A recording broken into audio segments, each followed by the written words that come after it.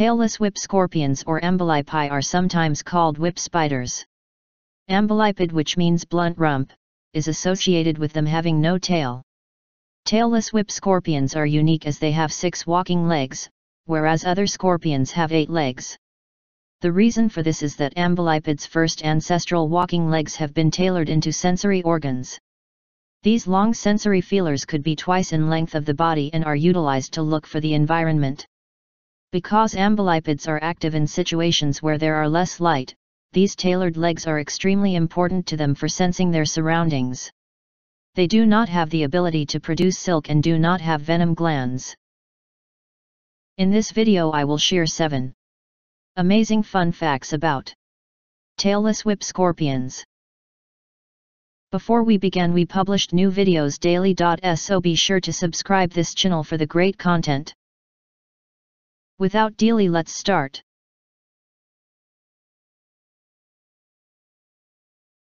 Common name Tailless whip scorpions, also known as whip spiders and amblypids type, invertebrate family, Phrynidae. Weight, it is lightweight.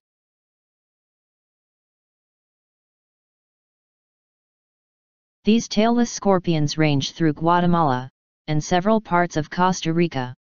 Tailless whip scorpions live under loose tree bark, in cracks and at the base of tree trunks, or tree holes, canes and inside animal burrows. They are very common at night in Costa Rica.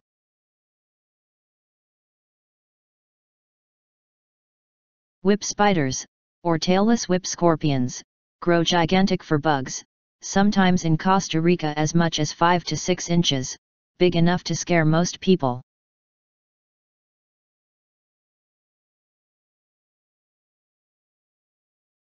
Tailless whip scorpions' diets are insects and worms.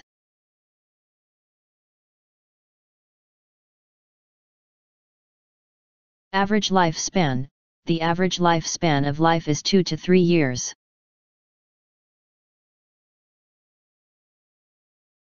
Average lifespan The average lifespan of life is 2 to 3 years.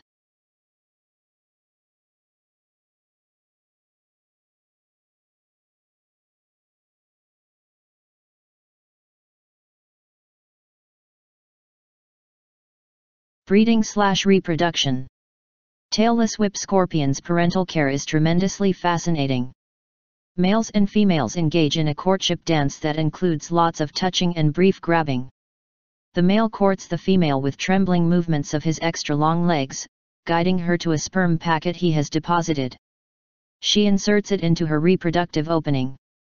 6 to 60 eggs are kept in a membranous sac underneath her abdomen until they hatch. Young stick to their mother's abdomen for quite a few days after the birth. Please hit like and subscribe our channel for more amazing content in the future.